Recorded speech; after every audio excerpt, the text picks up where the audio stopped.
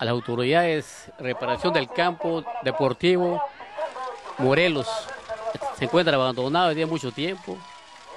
Ya pasaron varios exenios y nada de reparación ni nada. Le pusieron luz en lugar de techo. No tiene techo, nada. Está abandonado. Nosotros le damos mantenimiento. Necesitamos que le pongan techo para las familias y todo. Que van a ver el juego.